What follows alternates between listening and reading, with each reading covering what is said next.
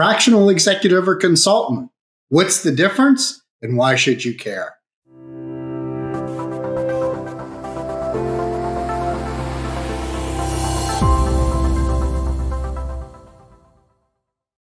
I'm Jay Kingley, the co founder and CEO of Maven.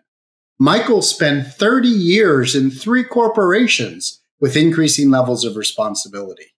He rose to be the chief financial officer of a $250 million revenue company selling industrial products. The owner, ready for retirement with no family members interested in running the business, decided to sell out to a private equity firm. While the private equity principals liked Michael and felt he was more than competent at the job, they intended to restructure the firm financially and wanted someone who was loyal to them who had driven this type of change in the past. Out went Michael with a nice severance package. At 54 years old, Michael was too young to retire and felt he still had a lot to give to the right company. Michael also realized that at his age, his prospects for landing another full time executive level position were slim. Kathy spent 25 years working in finance. She was a CPA and spent the first 12 years working at a large CPA firm doing audits and financial projects for clients. After taking eight years off for her family, she got a full time job working for the CFO of a publicly traded consumer products company with revenues just above $1 billion. She worked on systems upgrades, metrics and reporting, treasury management, and financial analysis. Six months ago, her employer went through a cost reduction program, and Kathy, a highly compensated employee, was let go. She still needed to work for nine to 10 more years to secure her standard of living and to give her a sense of purpose. She felt the employment market for a 58 year old, highly compensated female in finance was limited. Now, both of them decided to set up their own professional services business, leveraging their years of experience and expertise in corporate finance. They shared the same high level goals recreate their corporate income, not working the insane hours that they often did while in corporate, working with clients who valued what they brought to the table, allowing them to feel relevant and useful, taking on client work that was fun and challenging. But what is the best way for Michael and Kathy to position themselves in the marketplace to achieve their goals? Traditionally, when senior level executives not ready for retirement left corporate, voluntarily or not, they often set up a consulting business.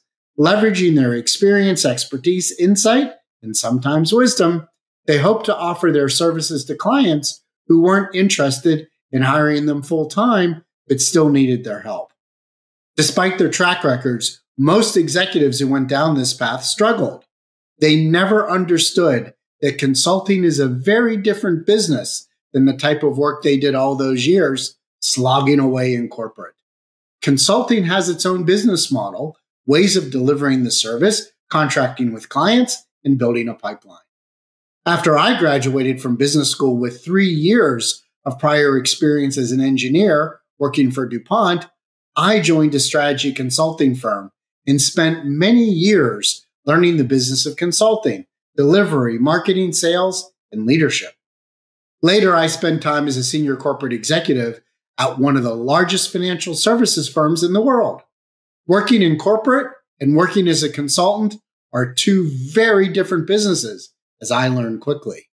Although fractional executives began to offer services over the last 20 years, their numbers have exploded in the last 12 to 24 months, fueled by the pandemic's impact on work.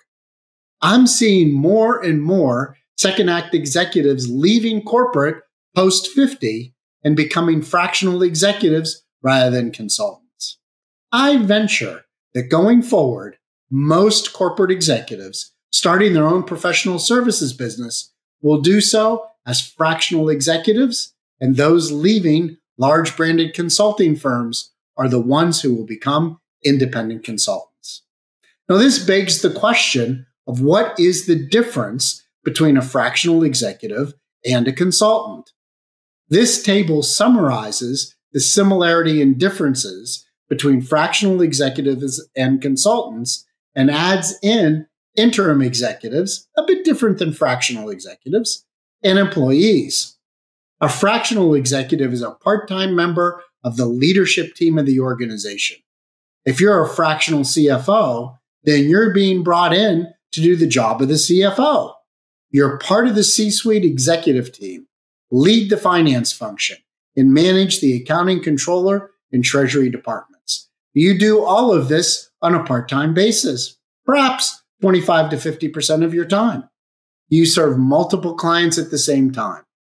On the other hand, a financial consultant would undertake defined projects related to the finance function. The consultant would not be a member of the executive team, have no line responsibilities, and would be retained on a specific project by project basis. Consultants often work with people in the organization without ever becoming part of the organization. Most consultants work on multiple projects for multiple clients at the same time. A fractional executive or consultant is neither better or worse than the other, just different. For a given level of experience, expertise, and insight, they can make a similar amount of money. The question you have to answer is which one better suits the intersection of your passion, expertise, and demand. Now let's go back to Michael and Kathy.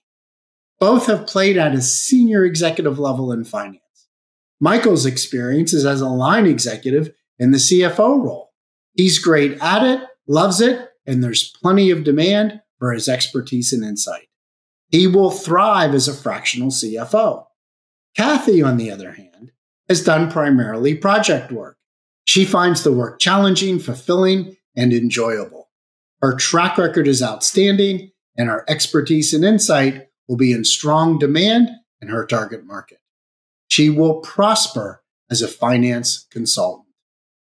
The big mistake that too many second act executives make is positioning themselves as being able to do both the fractional role and consulting. They are fundamentally different, and which role is needed is based on what the client is looking for. Whether your client needs a fractional executive or a consultant, they want someone who is focused and knows how to deliver in that role. Whatever you may think of your capabilities, positioning yourself as the jack of all trades who can do either role only communicates to your prospects that you are the master of neither. Pick a lane and go all in to achieve your full business potential.